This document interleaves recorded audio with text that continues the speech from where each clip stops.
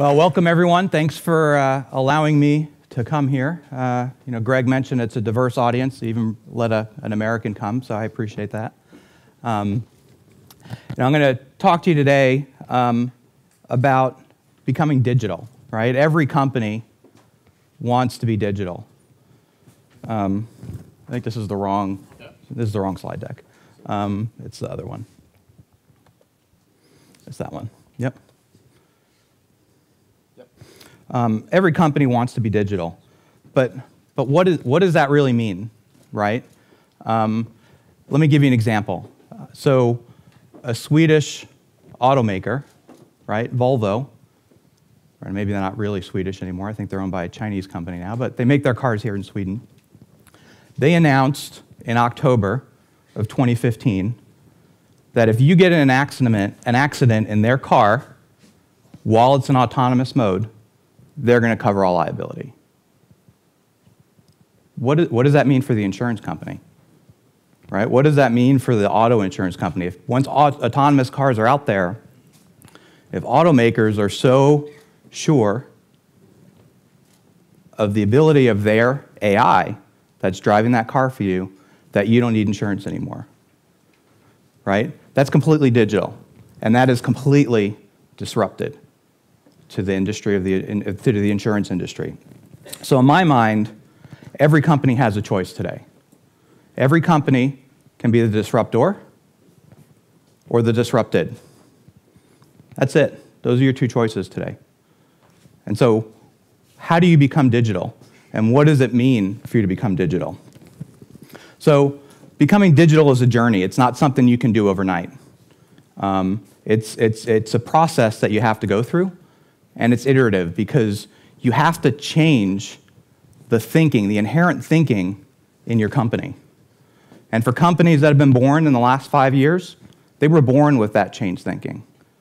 For companies like IBM that were born 100 years ago, it's really hard to change that thinking, right?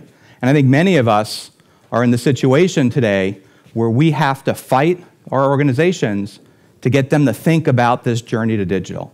And becoming digital is really a three step process. And the first step is how do you become a data driven organization? So, how do you get your organization to start thinking about data when they're making decisions? So, stop licking your thumb and saying, I think the wind's blowing this way. This is the decision I'm going to make today. And start using data to make those decisions. And at the beginning of this step, you're going to go talk to people in the business, and they're going to say, help me get a dashboard that has the data in it that will support my preconceived notions. And that's okay at first, because at least they're looking at the data, right? Is that ideal that they want the data to support their preconceived notions? No. But we're getting there and them in the right step. And you start thinking about how do I use data? How does data become an asset? So, how do I start valuing data and thinking about data, right? Every one of us have an app, a laptop most of them are probably provided by our companies. Most companies make you put an asset tag on that, on that laptop. That's their laptop. When you leave the company, you have to leave it with them. If you steal it, you get in trouble. If you break it, you might get in trouble. If you lose it, your, your security department will probably interrogate you for about 20 minutes, right? Data is not treated that way in most companies. Data is treated as a digital dropping of applications right? It's just something that applications kick off, and, and you guys in the data world figure out what we do with it. And when you start becoming a, data driven company, you, you get your company to start thinking about using data and treating it as an asset. What does that mean for your, your, what your company reports to, to your board or your investors or, or the street? That really means that those goals that your CEO reports to the street stay the same. What changes is how you start reaching those goals. You get there a little faster, you get there a little more consistently, right? But you don't really change what you're delivering to the street. You don't change what you're delivering to your customers. Everything stays the same, you just get more efficient at it. And so the next step is becoming a data science driven organization. And this is where you really start getting away from delivering support for your, your business's preconceived notions, right? This is where you start using machine learning, deep learning, operations research to start providing insight into how you can run your, your business differently. This is where you start thinking about, and not, not really executing it, but start thinking about what are new business models that I could use from, based on these machine learning models or AI models. And you start reaching your goals and start differentiating yourself from your competitors, right? So the, street, the goals you report to the street are still the same. Still going to have the same earnings, still going to have the same, same product portfolio. You're going to get there even faster. Going to get there even more consistently. And you're going to start separating from the pack. In fact, I think just about every you know, big business school has done a report that companies that use machine learning, not even you know, advanced AI, but machine learning, outperform their, their peers. Right? And so that's an important step. And this is really where you start going to your business and they stop saying, give me data that supports my preconceived notions. They start saying, give me data and give me analytics that help me understand what I should be doing. Right? We start getting to that prediction. What should I be doing? Right? We may even start getting to that prescription where we start using things like operations research, right, or decision optimization to start doing scenario planning and simulation based on those machine learning models and not even saying, give me some prescriptions about what should I do, but actually prescribing how do I do things differently? What's my next best action? Right? And using math to drive your next best action, even if, even if it's the wrong action, or not the best action, it's repeatable and you can fix it. Right? When, when I was in my, my four, I've only been with IBM for 10 months, and before I came to IBM, I was at a company where we started doing this data and digital transformation six or seven years ago. And um, you know, people were really fighting leveraging machine learning to drive decisions that they had been doing for years, right? Licking their thumbs and kind of saying this is what it is. And so we did an exp- we got tired of doing bake-offs, right? Because whenever you could bring machine learning to, to your business, they want to do a bake-off, right? Show me how this compares to the decisions that my people make. And inevitably, there would be some decisions where the computer, the mathematical model, gave a different answer. And the, the humans would say, well, the model was wrong. And I'd say, you know, the model's 97% accurate. There's a 3% chance it's wrong. Well, I don't care. It's different than, than what my people made. And so we did an experiment, and we put the same choice in front of 30 people five times each. And we got some really interesting results.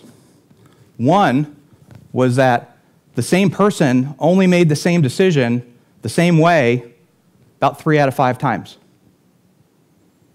And the agreement across the 30 people, even when you average out, even when you pick the three out of five, okay, we'll take the one that, the three as that person's choice, real choice. And when you look across the, the 30 people, there was about a 25% concordance between those people, right? And so then we brought that information back and we said, even you humans can't agree what the right decision is. How can you say that the model was wrong. And that was a tipping point for us. From that point forward, the leadership at least got that, yeah, the models are maybe predicting more consistently, and so we can work with that. Because even the humans aren't making the right decisions or the best decisions necessarily. And so that, that's an important step. I'd say avoid bake-offs as best you can. Um, and then, so the final step in this this digital journey is becoming a, a digital enterprise. And if you ask executives what does it mean to be a digital enterprise, some of them will tell you it means we're paperless. That's not what we mean when we say digital enterprise. What it means to be a digital enterprise is that you start using these first two parts of the journey here, and you start fundamentally operating differently as a business, right? You start thinking about what are business models that I can build off of my data and off of my analytics. Um, and I would actually argue that most companies can't monetize data directly. It's rare. It's retail, it's weather, uh, it's things like that, right? But most companies can't directly monetize data, and most companies, I would argue also, don't want to, because data is what differentiates you from your competitors. Right? The data you have about your business, about your employees, about your customers is what's differentiating you. So I would argue you don't want to mo directly monetize your data. What you, the way you do want to monetize your data is to streamline your processes, right? Cut out costs from your processes, make better decisions, and develop new business models. And that last one is really, in my mind, what being digital means. But you got to do that with your eye at the customer. So look at everything in your business from the customer's perspective. Every decision that's being made in any of your leadership teams, the first thing you should ask if you're a digital company is what impact does this have on the customer? How is this going to make the customer's life easier? Right? And then you start thinking about, well, if I'm going to make the customer's life easier, is it easy for them to buy a product? Do they want to buy a product? Or do they want to buy a solution to something? Do they want to buy an outcome? Greg talked about GE, right? When GE, when GE Salesforce goes out, they don't show up at Boeing and they don't show up at British Airways or SAS and say, You want to buy a jet engine? If they want to buy a jet engine, they'll call them, right? What they show up and say is, We want to sell you uptime on your jet engine. That's an outcome. It's not a product. There's no physical product involved in their mind. It's purely an outcome, right? And so think about from your customer's perspective what are the outcomes that my customers are interested in buying? And when your company starts thinking like that, that's when you're digital. That's when you're digital, not until then. And that's a really hard journey because when you start thinking about becoming digital and selling outcomes, it may be that the best choice for your customer and the best way to make your outcome successful is to sell com some components of your platforms that are actually from your competitors. Think about that. To, to truly sell an outcome, in some cases, you need to sell your competitors' products, maybe, because they have a better product in that area. But you don't care about that because you want to make your customer successful. Right? That's game changing. Most companies can't get their heads around that. Most people in the C suite no way, you're crazy. But that's how you have to think. And when your people in your company come to you and say, Why are you selling our competitors' products? You say, Well, our competitors' products. You want me to sell our product? Make that one better. Right? So think about that. And so at this point, this is really where you start talking differently to the street. And this is really where your CEO shows up and says, We are no longer a company from X sector. We are now a digital company. We sell, no longer sell jet engines, we sell uptime, right? I come from, a, from an agricultural background where I worked for the last 10 years. We declared, our CEO declared, we're not a seeds and trades company anymore. We are now a digital ag company. Right? That was completely game changing, and the street looked at us differently and started treating us differently. And so, you know, to, to do this, I think I really, really feel strongly, and, and, and it's not just because I have this title, but I really feel it's, it's, it's important. And even if you don't have a designated CEO, or CDO, I mean, it's really important that you have someone in your company that owns data. Because remember, in this first step, you start thinking of data as an asset. And part of thinking as data as an asset is you know, every organization has someone in, in, you know, has silos, right? And someone in each of those silos thinks they own the data for that silo. And so you need to take that ownership away from them because it's not their data, it's the company's data. It's the company's asset. It's not Seth's asset, it's IBM's asset, right? And so you need a CDO or someone that's serving in that role. And from going around and talking to, you know, I spent the last 10 months literally flying around the world a couple times, talking to CDOs and talking to companies. And you know, over the last seven years before I came to IBM, I spent a lot of time talking to, to CDOs as well. There's really five things, five things that CDOs care about and CDO types care about. Um, And depending on what industry you are, these are going to have a different priority, right? And, and I, always, I always say that people can only really focus on three things. And so if you're responsible for this in your mind, pick the, pick the top three that are most important. And they'll change, you know, in a year, they'll change, hopefully. And so, you know, the, the first one, and I think this is the most important, is how do you develop enterprise data assets? Right? How do you, and this is just conceptually, what are the assets that your company truly cares about? And for every company, I think there's three, three assets that every company has, right? At, at a bare minimum. And it should be no more than six, because you really, again, you got to get your company to rally around these. One is your customer. Every company should care about their customer, right? Because remember, I said to be a digital company, everything's got to be through the eyes of your customer. So you should have a data asset around your customer. And I'll, I'll, get into these a little bit more. Every company should care about their products, right? Every company has some form of product, right? And every company should care about their talent. And these are the core data assets that every company should have. Now, you may care about geospatial. You may be a manufacturing company. You may care about all the data coming off your machines or your connected devices right? But those are, those are going to change depending on, on the company you are. The next thing is you need to, uh, to get a unified governance strategy. You know, and I, and I think um, Greg mentioned that you know, every company is going to be digital soon or be in a cloud soon and have multiple environments. And I, you know, my experience is that companies are not going to go to a single cloud. Companies are going to be on multiple clouds. I'd say minimum of four or five, especially if you consider Salesforce and Workday and things like that as cloud. In fact, if you consider Salesforce a cloud, most companies are, are in the cloud today. They just don't acknowledge it, right, necessarily. And so you need a way to govern that data across your legacy environment, across your cloud environments. You need to not care, shouldn't have to care if it's structured or unstructured or where it sits. You should be able to govern it, period. And then you need to build deployable data science assets. So as you start developing machine learning models, um, if you del deliver these machine learning models as a CSV file, it's worthless.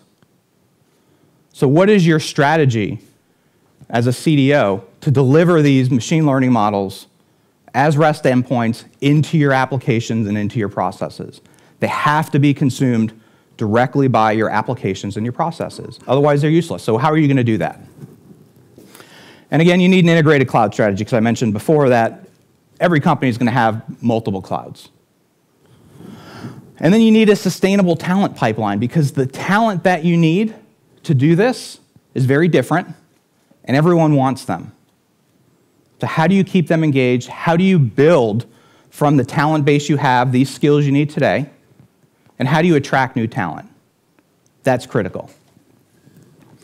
So let's, let's get into this. And so how do you, you know, what, what, how do you, how do you kind of go through this process? How do you develop your data as an asset? And that's really what I'm going to focus on for, for the rest of my time is how do you develop data as an asset? And so the first step is to define your core data assets. And I have, I have four of them up here right? So I have customer. This is getting that, you know, that trendy customer 360 view. And I told, stole the 360 just because it was trendy. And I applied it to all these other things. So how do you get a single view of their customer? Most companies do not have a single version of their customer. Most companies have anywhere from five to 600 views of their customer, especially if they're multinational. Because each region, each country has their own view, multiple own views of customers as well. So how do you get that single view of your customer? so that you truly understand them. And with GDPR looming, this is critical, right? Because as a subject, I can call up, I can ping IBM and say, tell me all the data you have about me.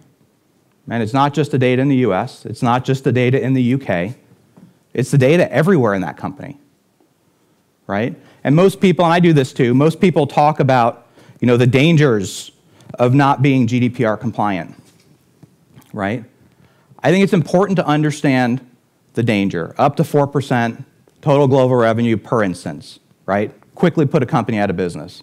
You talk about that to your board to get it funded, right? Because they're going to care about that.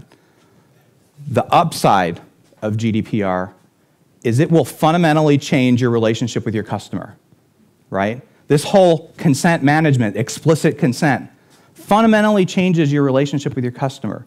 It gives you direct access as data people, as people that care about data and analytics, to ask your customers Can I predict for you? Can I help you understand what are choices that you would make?